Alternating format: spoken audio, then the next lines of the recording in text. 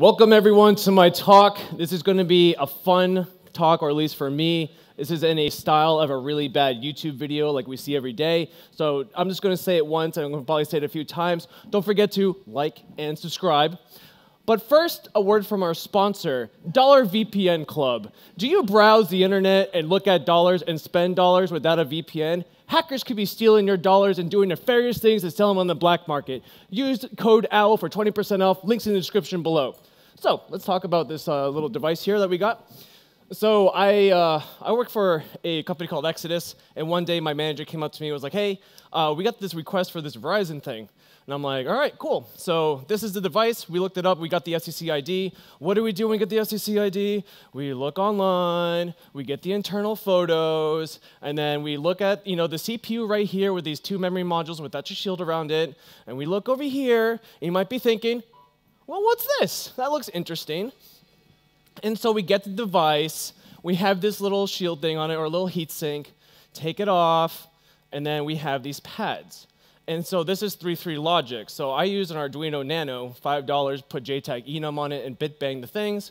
And we got system reset, TDI, TMS, uh, test reset, ground, all that good stuff. And then also we have some pre-populated pins in the middle of the board. Uh, we have ground, we have receive, transmit. So this is UART.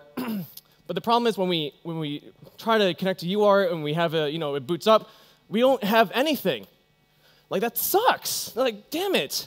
So I'm like, all right, well, let's, let's go back. We have that JTAG interface, right? So we just, you know, put some pins on it. We use some electrical tape to cover up all my nasty soldering stuff and make it look kind of pretty.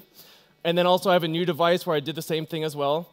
Uh, we connect it up with some wires.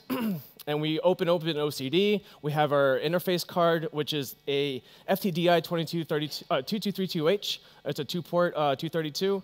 And so we get the ID from it. So we do have a JTAG interface. Uh, that particular ID, I couldn't find it inside the target directory of OpenOCD. There wasn't any pre-configured configuration for it. So I look at the manual and figure out what everything is.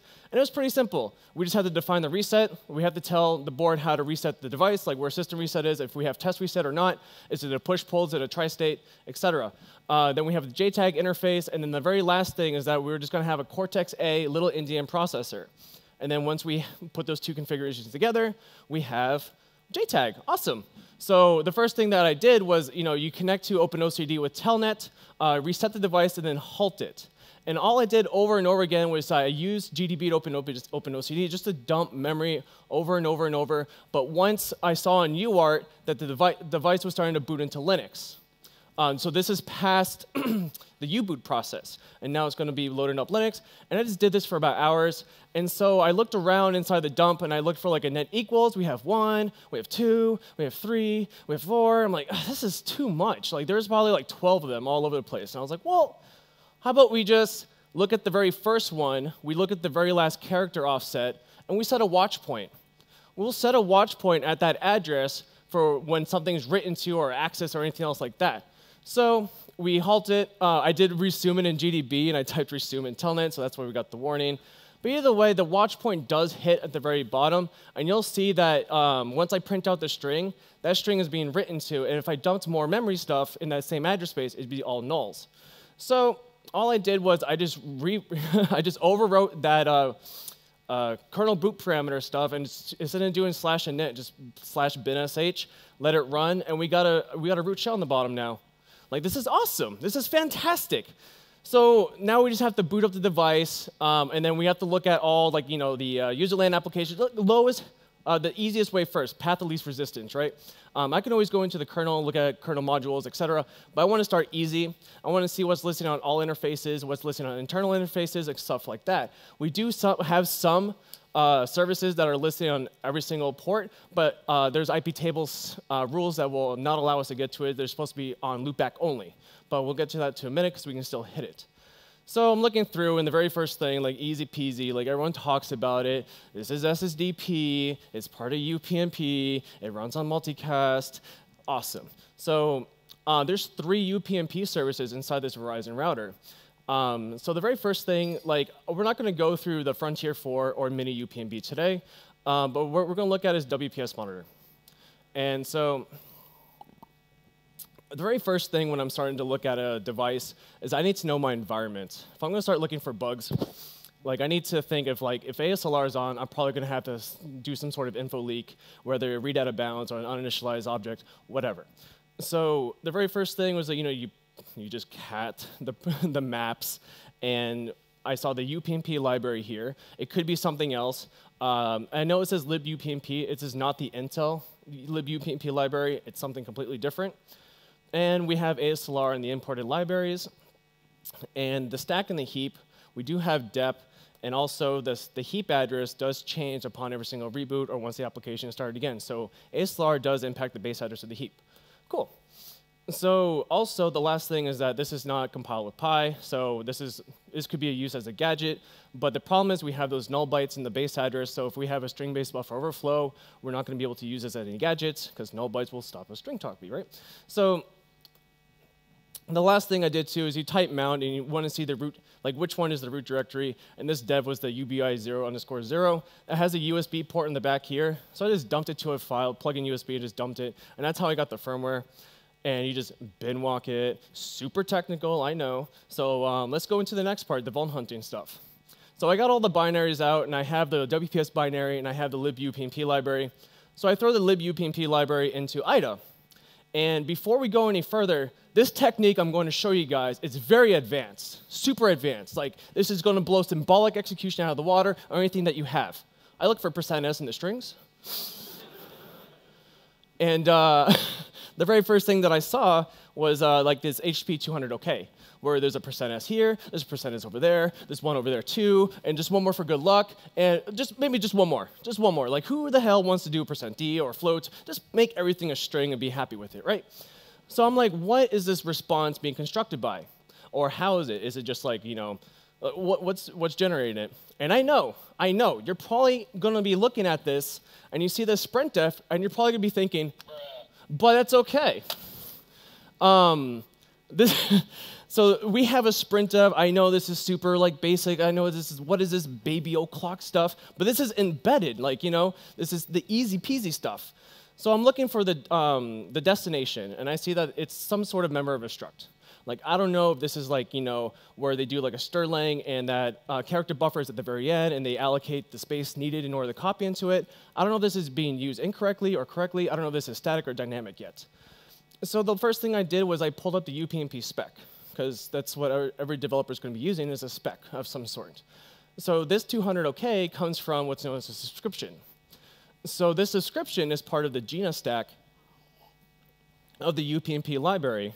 And at the very end, I'm going to be discussing like more about this and like, you know, either way, sorry. Um, so this particular thing, you see the subscription publisher path, and then you need a callback, which is going to be an HTTP URL that's going to be wrapped around angle brackets. I know this is NT, which it has to be UPnP event. And then you have this timeout second dash, and then some sort of integer, or you can put infinite to have a subscription last forever. So that particular publisher path is part of the event sub URL. It's right below the SOAP stuff, where everyone's like, oh, there's a control URL, send a post, and do all the SOAP actions. Woo! No. So we're just going to be looking at the Gina stack, which is like general eventing something architecture. I forgot the top of my head. So the first thing I did was I opened up VS Code. You can use Vim, you can use Emacs, you can use Nano. I don't care. You can even echo it to a file. Who cares? So I decided to make a quick POC because I wanted to see if this was even like reachable. So if I send a string of like my little handle thing for the second thing, I should get that same string back based on that percent %s I saw inside that response. So we send it, and we get this. Awesome. And this is supposed to be playing Windows XP's ta-da sound, but it's not doing it. So either way, so now I have you know, some sort of like string-based, like it could be an overflow. I have some sort of control over the response of this based on what I can send to it. So there's two ways I can think of this. I'm under a time crunch. Like, the faster the better, the sooner the better. I can't really spend too much time on this because where I work, a bug is not a bug until an exploit is written for it. Get code exec or get the hell out because we don't care about it. So I can do the super scientific way of trying to reverse this structure, define everything in structs, and make it all pretty, or I can just black box it. I have runtime stuff, right? And that's what I ended up doing. But if we look online, I didn't have this at the time. This could be a leaked source of the UPnP library, and it has the pound defines of this particular structure, the buffer and all that stuff. And like I said, we can always go through and try to figure out the, uh, the structure for this, but I didn't do that at the time. I just black boxed it. Kobe. So anyways, I set up a script that would just send a request. If we got a request, uh, uh, you know, a thing back and the socket was still up, that means nothing happened. So, you know, add a new character and keep trying and keep trying and keep trying and keep trying. And then, whoa, right? Uh, I was getting all excited. I'm like, oh, this is gonna be awesome. My boss is gonna be a high five. You know, like this is gonna be a, this is gonna be amazing. Shit, like this doesn't look good. Like it's just load, compare zero, load to another thing, and then it returns. Then after that, it doesn't really do much else with the structure that is clobbered. So I'm like, all right, let's let's uh, let's go back to this drawing board here. Like, ugh, I, I, need to uh, figure this out. So we look back at the the uh, uh, the paper. Oh, what was this? The uh, the spec. Sorry, and we see something about renewing subscriptions. So when you send a subscription, the device will send you something called a SID, or a subscription identifier.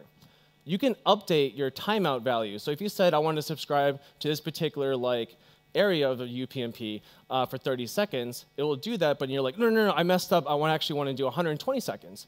You just send a subscribe with just the SID and the new timeout value, and it will update that.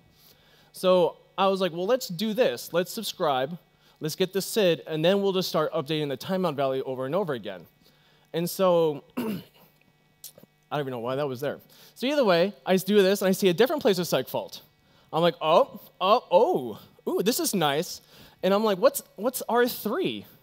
Like, what's the value of that? Oh, that's my name. That's crazy. That's awesome. So I'm one pointer away now from like getting PC control. Again, just getting PC control doesn't mean anything for us. We have to get code execution. But this is actually seems promising now. So we can kind of get PC control. We're one pointer away.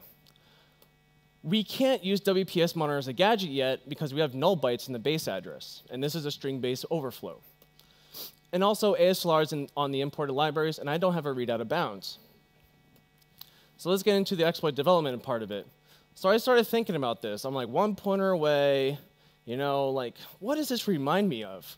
Like, it reminds me of, reminds me of IE, this is supposed to be playing the Windows XP startup sound. But this reminds me of IE exploitation days where you like, I'm gonna instantiate this ActiveX like module, doesn't have ASLR on it, and then I'm gonna spray the heap, and I'm gonna you know stack pivot and do all this crazy stuff. So I was like, well, let me change my technique here. Like, what if I can find primitives to spray the heap, and then maybe do some magic because I still have to get around the bad byte stuff. I need to use WPS monitor as a gadget unless I can read out of bounds. And then maybe we can trigger the overflow and get code exec. So the first thing I wanted to do was kind of get an idea of this base address for the heap. Like how high and how low does it load? Because um, I need to set like a target um, if I'm going to spray the heap and use that technique in order to get code execution. So I ran it once, reboot it, ran it again, reboot it, and again, and again, and again, and one more time, just one more, I swear. Okay, just one, just one more, just last one. So either way, I you get the idea. I ended up having a list of like, what's my high, what's my low, and everything else, because I need to know what I can actually hit. Like if I go for O2, O2, O2, that's not going to be a good place because it actually loads into that area at times. But we also have 118 megs free. So if theoretically, we can always like go up to like 06, 06, 06, 06, 06, if assuming that the base address of the heap is always zero. So I'm like, all right, so the base address, uh, my whole list and everything else, there was nothing above 02, 02, 02. So I'm like, let's go for 03, 03, 03. So let's, let's do that. So now I've got to start looking at primitives. So when you send a subscription, that callback uh, header, which wrapped around an angle bracket to, you know, HP slash slash some IP address, colon port slash to URI, end it with an angle bracket. Um, this is going to take a strlen uh, from the first, from the, the slash all the way to the URL that you, that you send. And it's going to strlen it, and it's going to add it to the size of some struct, and it's going to calloc it. Like, great. Like, I saw calloc, I was like, damn it, like, it's going to memset it. All right, whatever. So I can use this probably to spray the heap or grow the heap, especially since, um, with, uh, we'll get into it. so anyway, I end up um, going into GDB, setting up my GDB breakpoints, and I was like, all right, let's just try subscribing, subscribing, subscribing, subscribing, subscribing, and see what happens. And I, we got the same address, same address, same address, same address, same address. I was like, shit, like what the hell is going on? So I started thinking about it. I'm like, well, if I send the same IP, same port, or same URI, there's no reason to allocate a new thing. It probably is going to free and just update it. So I was like, well, let me change like the port number. Like, let me do a for loop, and I'll just use the i, uh, you know, the uh, the iterable just for the port number. So I'll subscribe port one. Next, next one's gonna be port two, three, four, five, etc. Right? And I start seeing this. I'm like, oh, something's actually happening now. And so I started to wait a little bit. And so we see that the heap just keeps growing and growing and growing. So great, I actually have one primitive now. So I do a subscription, update, you know, increase the port number, subscribe, subscribe, subscribe, subscribe, blah, blah, blah, blah, blah, blah, blah, blah, blah. And so we're, we're now able to fill the heap as much as we want. We can actually run out of memory if we wanted to. So this is amazing, right? So we only have one primitive, though. We can grow the heap. We still need to do some magic because we're still bounded by the limitations of a string. We're using Sterling and stuff. Strings everywhere, like Jesus. So I'm like, all right, let's look at the spec now. And there's this other method called unsubscribe. So um, when you send a subscription, you get your SID. If you decide you don't want to be subscribed anymore to that particular service, you can send an unsubscribe with your subscription identifier. And when you look at the code, it sounds like it's probably going to go free, and it does. It takes that block that you have, and it's going to pass it to free. So now we have the ability to kind of like allocate chunks and free chunks at will, and so I also like you know set up a breakpoint. I just wanted to make sure that this is happening. And so when I did the subscriptions, I just flipped the array and started going from the top to the bottom. And we can see the 9, 8, 7, 6, 5. So my 4K chunks are being freed. So, okay, going back to monkeying around and trying to figure stuff out, because this is starting to come together a little bit, I ended up pulling in a coworker. Because I was like, I can free chunks, I can allocate chunks, but I'm still bounded by a string. I need to get around that if I'm going to use WPS monitor. So my coworker came in and was like, hey, there's this function about type length value B64 decoding. It's using malloc, like, and then it frees it afterwards once the connection is lost. What do you think that's about? So I looked at SOAP. I know SOAP. Everyone talks about it. And I saw these um, different actions, like delete AP settings. And this name, the, uh, the type of it's at the very bottom is AP settings, and it's a base 64 string. I'm like, oh. So now um, when I when I tested this out, I sent just a you know a SOAP request to that particular action. I have a base 64 string of just like one, two, three, four, five, you know, zero, zero, you know, just a bunch of stuff to see if I can actually get anything into that same block, and it does. It will allocate to that same chunk, decode it, and then free it. So now I can free a chunk, occupy it. I can free a chunk, put that on the top in the free list of the 4K bucket, and free it and keep going and going. And so I look at the contents of this, and you can see I, when I was working on this, you got O2s, O3s, and we have some like you know gadgets I started putting in. But I wanted to make sure that everything was lining up correctly, and I can use like nulls, which I can. And so this is this is great. So we can spray the heap now. We can deallocate deallocate chunks at will. We can get around the the character restrictions now by using that base 64 SOAP action thing but we still need to do some stuff. So when I was working on this, I was going for O202 originally. And so when I would do the whole stuff and I would break GDB, um, I would try to look at that memory space and like that, what the hell's going on? So I started thinking about it, and I'm like, well, you can't build a roof or a house without a roof, right? So what I was doing was I have all these subscriptions, and I would free it, and I would occupy it, free it, and I would occupy it, and free it, and occupy it. And you see, you get the idea of where this is going. So when this is all free now, the Linux kernel is going to come in and just start reclaiming memory back that it provided me. So now I have a race condition, but I can't have that because I'm over a socket. There's no guarantee I'm going to win the race. So what if I just leave the last subscription there? It's always going to be busy. It's always going to be occupied. And that's actually worked. So the Linux kernel won't come back and reclaim that memory now. So now I can just keep going and keep going and just leave the last one up there as just a roof. And like I said before, the timeout value of the subscription, um, if it reaches zero, it will free it. That's the other thing that will happen as well. So this roof that I have, instead of putting like a large integer, you can use the word infinite. It will never count down to zero. It will never be freed unless you specifically request it to be freed. So now I can keep going down the list, and now I have this like big pool that I can start playing around with.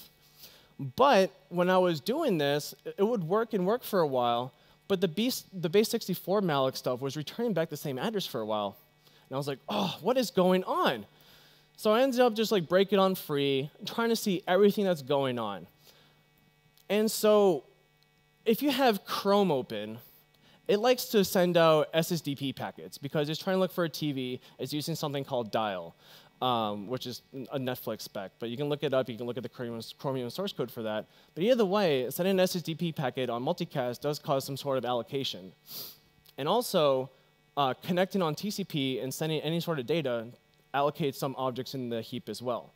So I'm like, all right, so what I wanted to do was try to spam the top of the free list as much as I could. This does increase the time it takes to exploit the device, but I'm guaranteed now, or have a higher likely chance of always uh, reclaim, you know, filling these chunks instead of just freeing it and it's just full of like a string, like DDDDD or whatever, right?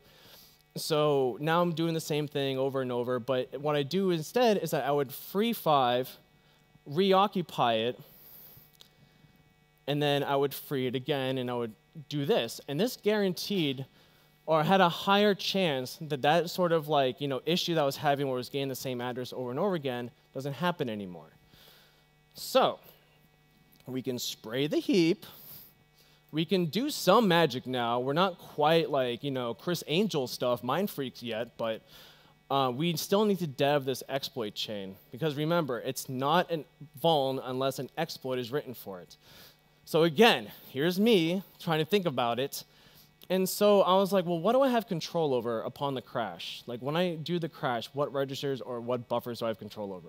We see the R3, um, and we see, I look at R4, and this is going to be like my overflow stuff. And so I was thinking, and I was like, well, you know, back to IE stuff, what if we do a stack pivot?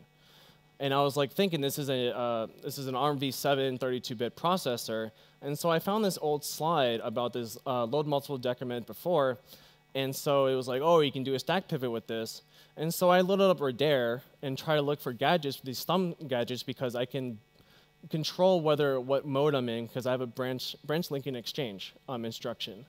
So I saw all of these and I tried it, and nope, we have an illegal instruction. And I looked up inside the R manual, and we see that for this particular instruction stuff, inside the reg list, SP cannot be in there. so I can't, hold on. Ah, so I can't use this as a gadget. I can't stack pivot with this, and it was depressing.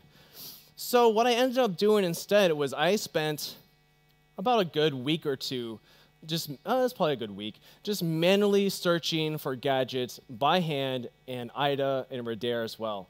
And this is what I came up with. So gadget one, all this does since R4, I have control over the contents of it. So we deref R4, now we're inside that buffer. And now we have stuff that I control.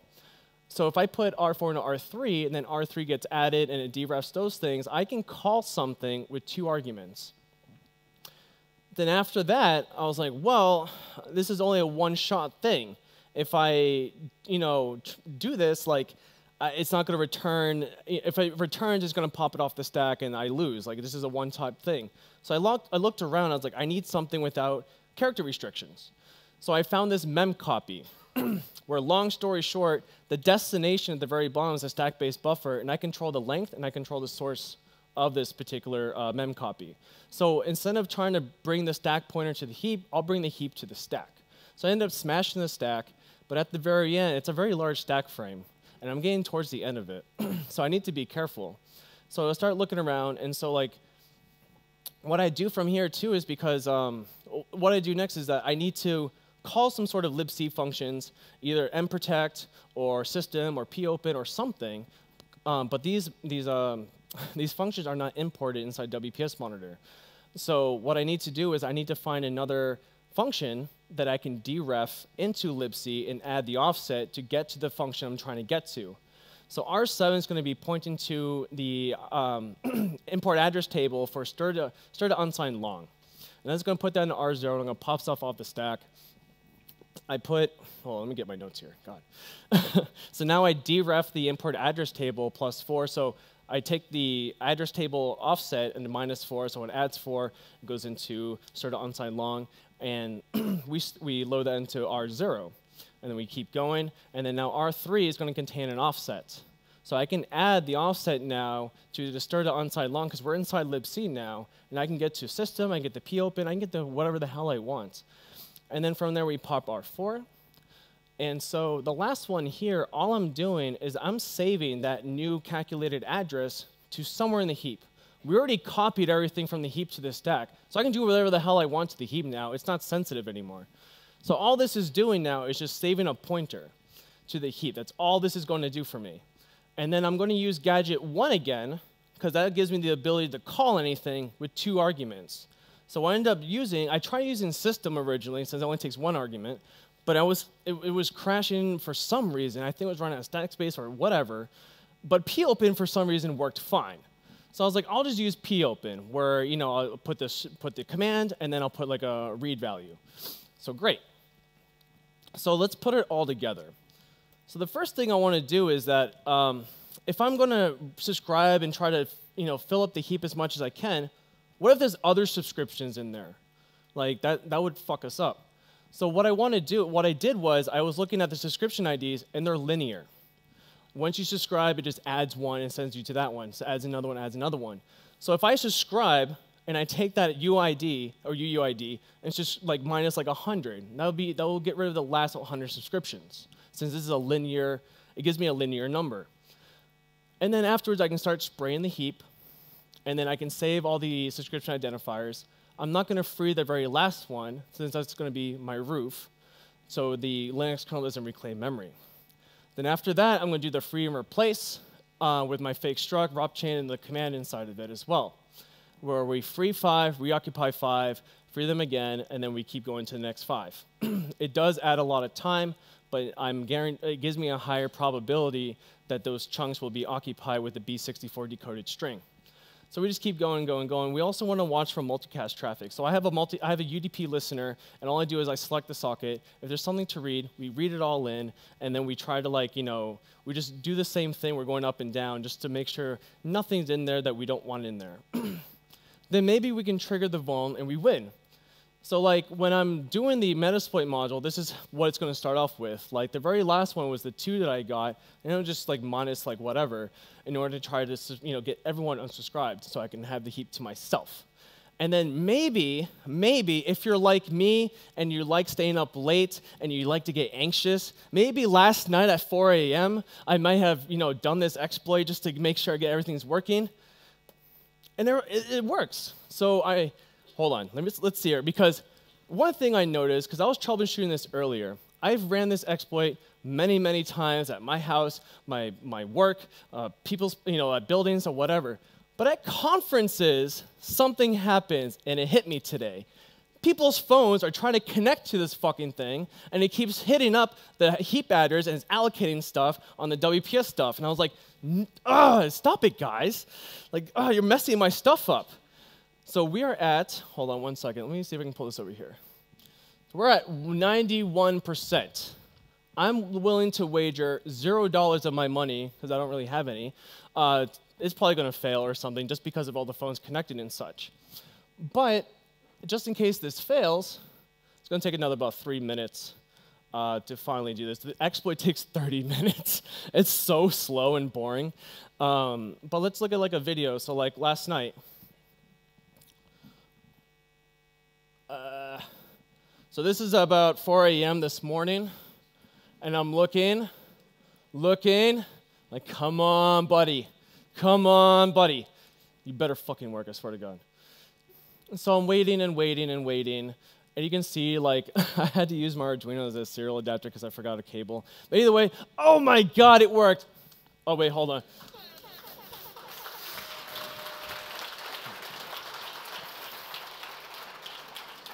And then, just as a bonus video, this was about an hour ago. Ah, come on.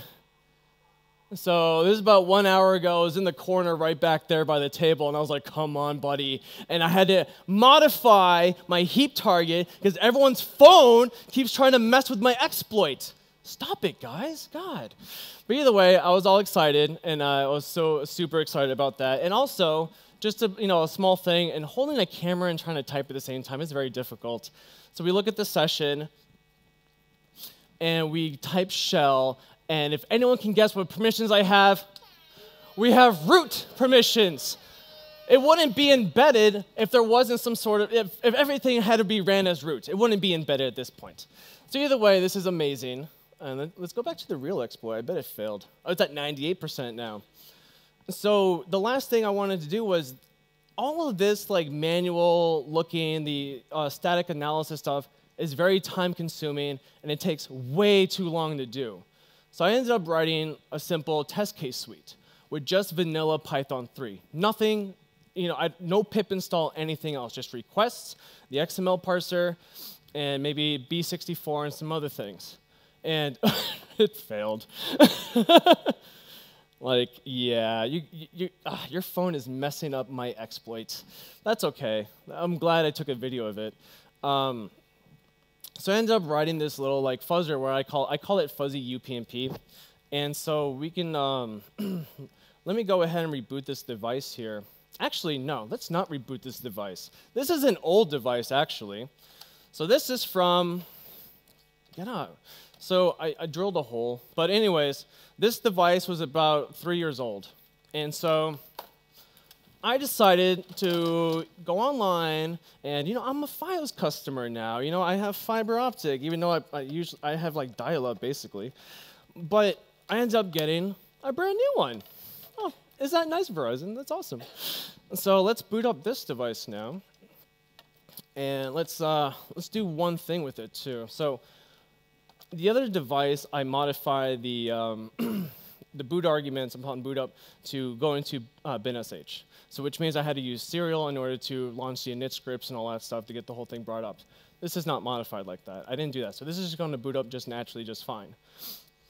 And so this takes about maybe like five minutes to boot up. And wow, I'm making great time. All right. So the one, what I wanted to show is uh, the little fuzzy UPnP thing that I wrote. And I'm going to be opening up tmux real quick. And we'll go into offensive con fuzz. All right. Uh, uh, so I don't have an IP address yet. All right. So I'm going to wait to get an IP address. And let me, let me continue on with the talk. We'll come back to the demo of the, the whole fuzzy stuff because it makes my life a lot easier because I've looked at so many UPnP services. I know it's a dead horse. Many people beat on it. Um, but I just wanted to write it for myself because I'm, I'm getting lazier. I'm getting older. My hair's fucking falling out. Like, I don't want to keep looking at stuff anymore by hand. It's good to do it by hand to get the logic down, but once you have the logic down by hand, it's better just to automate it. And also, like, have some. The biggest one was getting, making validators for my test cases. What marks as a pass, what marks as a fail, and what marks as suspicious. So it took a lot of time of just like manually going through and also downloading Media UPnPD and modifying everything so I can make the test cases work for what I'm looking for. Like I'll put a string overflow inside of a SOAP action or something, or a command injection. So like my command injection test cases, I'm doing a ping, and I just have an ICMP listener, and if I get four ping packets back, that's something suspicious. Um, maybe there's a command injection in that particular area. So anyways, let's get back to the uh, thing. So we'll get back to the fuzzy stuff in a little bit. so I was going to do the demo. We'll come back to this. But this talk isn't about how I found a vuln and I exploited it. I could have just written a blog post about that. Like that, who cares, right? But the one thing I wanted to show is that, uh, whoop, one second, is that after my last talk, someone found a vuln inside D-Link.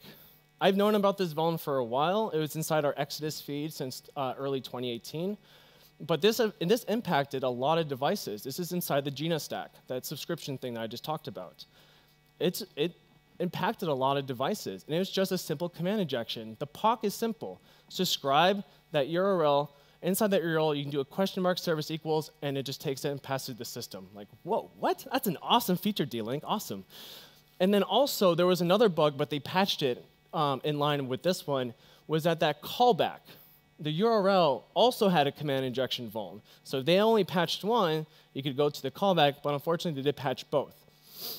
But also, like I was saying, like this, this particular bug, like maybe some of you are thinking like, well, why didn't you disclose this bug to Verizon? Like, you know, you should be responsible. Uh, no, but this, this, but that doesn't do anything. Like, this doesn't do anything for this particular service. It's not a Verizon issue. It's a Broadcom issue.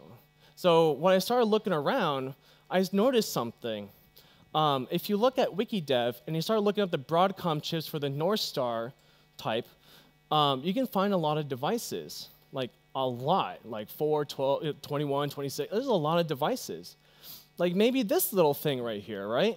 And, or maybe this little ASUS router that I'm looking at right down here too. Um, like this is a T-Mobile TM-AC 1900. Um, and also just to give you guys just a quick, uh, I guess zero day, I guess. Um, the UART on this is disabled. JTAG on this is disabled as well. And there's this network tool. Hold on, I know what you're thinking, but hold on. hold on. This does execute system commands, but this has been patched before. So we have this CVE 28, you know, 2018 9285. So if you try to use backtick, semicolon, uh, quote, double quote, anything like that, uh, dollar sign, open parens, it filters all that stuff out. But it's inside of a post request inside the, uh, inside the path. What you can do is that you can inject new lines, percent %OA, and you can get code execution from that. So if you want to use this particular bug, like go in here, you know, maybe use burp or use any sort of proxy in the middle that you can intercept traffic with and modify it, and just instead of using backticks or semicolon, just do percent %OA, and also um, it does filter out the HTTP colon slash slash, but inside the ASUS router, um, wget doesn't require a URI handler. So you can do wget space 192.160 blah, blah, blah, and you can get code execution from this. But what I did was like, I did like percent away and then like cd temp percent away and then wget blah, blah, blah, percent away. And then I, at the very end, I also, and then it just executed, yeah. So you can use this to get debugging capabilities. This is the only reason I'm disclosing this, because that's the only way I was able to get debugging capabilities on this without trying to rip it all out. It's using NAND flash, and I hate trying to get NAND flash extracts, because I always screw it up. But either way, maybe there's more bugs in it. I don't know.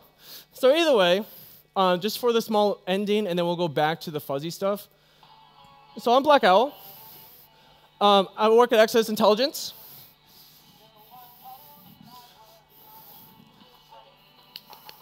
All right. I, I focus mostly on embedded devices, whether they be networking devices, smart stuff. Oh, speaking of smart stuff, Belkin Wemo. Uh, inside that libumpp library, there is a bug inside of it. It's using an old Intel UPnP library, and there's a bug in it when it's parsing the callback. If you have like two open angle brackets and only one uh, inside your callback URL, it will allocate one object, but it will try to fulfill for two. So you can start to write out of bounds. You just need something adjacent to it in order to make it work. But I showed you how to allocate chunks and free it well. It works for most libraries as well. So you can use that and get code exec on those Belkin Wemos as well. So before I end all this, I just wanted to show my little fuzzy tool. So uh, let me make sure I got an address first. So for this particular demo, I did disable um, my, here, clear all that, come on. uh, I can't even see that. All right, one second. Let's make it, let's, let's enhance, no, enhance, enhance, enhance, enhance. All right. Um, what was my address again? Jeez. And I'm going to use IP address because ifconfig was deprecated. Um, so I'm 1.159, right? So let's let's do this. So what all I all I use for my UPnP fuzzy stuff is 192 192, 168, 1152, right? 152? 159. I can't count today. So also I do have another argument. So like one thing that happens a lot was when I'm fuzzing SOAP actions, it sucks to hit the same uh, SOAP action over and over again because all I'm doing is just iterating, iterating, iterating. So I did have I do have a blacklist option, so I can skip over um, you know, services or whatever that are vulnerable, and I can just keep going. So this is my little, my little script. There's no, it's not a script unless you print ASCII art, right? So I have two versions of this. This is the server one for UPnP servers, and I have one for clients. And it's funny because with my client one, whenever I go into the office, I can tell exactly who's on YouTube whether it be a phone, whether it be on the computer. Because when you open YouTube on Chrome, it sends out msearch requests, and I spin up my fake dial server. And look, we already got one crash. Hold on. All right, so when it finds the crash, and the way I have this like crash validators is just by I, I use my old like uh, you know, I used to work in IT. I used to work at a knock back in the day, and uh, I used to have to set up these like local load balancers. And when you're setting up a server farm, the one thing you have to set up is a health check, right? You don't want a server in rotation that's malfunctioning. You can do a layer three health check, or a layer four health check, or you can do a layer seven. So this particular one, whenever I'm setting something and I get a reset, I do a layer three health, a layer four health check actually, just to make sure the socket is still up. And then also, we have a possible info leak. So this one's using MIDI UPnPD. This bug is patched in mainline, but there were devices, and recently, I think a few months ago, finally Google Chrome did update, and it's not vulnerable to read out of bounds anymore. But you can leak as much data as you want with this particular bug. The bug, in, in a nutshell, was that they're using smprintf to uh, limit the copy when it's making the response and notification request, or when it's going to connect back to you and say, okay, notify slash and URL, it, it used smprintf to limit the copy, but it used a return value and passed that to send as the length parameter. snprintf will return the bytes that it could have copied, not how much it did copy. So we have a clamped copy, and we have an end parameter that's much larger than what we allocated. So this is a read out of bounds. You can use it to leak you know, uh, pointers. You can do the same thing where you're subscribing, unsubscribing, putting holes everywhere, and you can leak those structures easily. Um, I just couldn't get code exact. I couldn't find memory corruption. And you know what's frustrating? When you find a memory leak and no memory corruption to use it with, that is, uh, man, uh, sucks. But either way, um, we'll just keep going on it. But it, this is great. Like, it took me maybe like a month to write. I'm thinking about maybe releasing it. But the test cases that I wrote took me a while, and it was just from experience of like, you know, what have I seen a lot, and also looking at the spec and being like, what could someone fuck up? Because usually, like, I've worked with developers in the past, and usually it comes down to crunching like time crunching. And you just gotta get something that works and it passes your test case validators and you just need it out the door because your project manager is on your ass, then your, your manager's on your ass, and that TPS report guy's on your ass, and you just don't wanna deal with it anymore. So I'm, I'm looking for stuff that's like string based, using numbers. You know, the one thing that's fun about the timeout stuff, you can use negative numbers in some of them, and before it's done, it's freed. But unfortunately, there was no use at the freeze that I found. So let's see here. Let's keep going. And this is on the brand new device. So this is great for me whenever I'm like starting to look at a new router that has UPnP, or I'm looking at a smart switch, smart whatever. It's not really that smart, but it is convenient for those that are like, you know, uh, maybe had surgery or something. I had knee surgery, and I always thought smart lights and smart plugs were stupid until I couldn't get out of bed to turn off the damn light. I wish I had the damn clapper at the time. But either way, sorry, small rant. Um, we'll keep going. It's going about to end soon. It's going through all three of the UPnP services. The logic is pretty simple. Send out msearch requests on the network that you want to be on, get all the responses, and start parsing the XML. Just be careful. If you're going to start writing this yourself as well, just for fun, Belkin, why do you do this? You have malformed XMLs. I had to put so many little patches in my little code to keep going and make it fine. But either way, and then we have an oh, another possible info leak. Is this just going over and over again? Hmm. Or maybe there's two. Ooh, what if there's another one? Either way, let's just stop this for now because it'll just keep going. I also disabled the um, the sounds I had on before because at the very end it usually goes, "Damn son, where'd you find these?" But but at the very end of it, we have all these different POCs, and I can go through all these different ones. So if I go through maybe the first one, come on, we see this, and then I'm in Tmux, don't worry, I know how to use Tmux kind of. This is the bug that I found statically. Instead of spending a day or two doing what I did, I can now find it in 10 seconds. This is fantastic. And I don't even need to talk to this about you guys because I know all of you do this. But this was just fun for me, and I thought it was a great thing to talk about and share a little bit. But, um, and also like the info InfoLeak stuff, like, uh, which one is it? IPCon. Oh, I know why.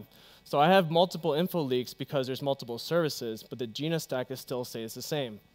So this was in Mini UPnPD as well. And as you can see, there's the callback URL, where the second is set to a random number, you know. Um, and the callback is the HTTP colon slash slash, the IP address, and you have all these things. One thing that's also used for this, useful about this is that you can use this service as a, a server-side request forgery. There was services, TCP listeners, that will only connect to loopback or had IP, IP table filters to not let anything external to talk to this. I can use this now to say 127.0.0.1, the port number I'm trying to do, and if that particular service was using tokens like stirchur, and it'll start here, and then it's going to do a stir stir or something like that and start parsing, and maybe like there's a command injection, maybe there's an overflow or something, I can use this as just a pivot. So this is great. Like, and also, I guess you could use it as a DDoS, but come on, get out of here with that. So um, at the very, so that's, I'm about to wrap up my talk now. We have about 14 minutes left. So I just wanted to say one more time, don't forget to like, don't, hit, don't forget to like and subscribe, hit that notification bell. If you haven't already, visit the link in the description below. Thank you so much, guys. I'm Black Owl, and I'll say good night.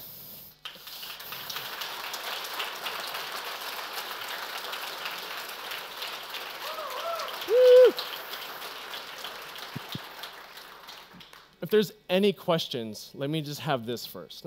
uh, are there any questions? Comments? Concerns? All right, that's fine. All right, thank you again.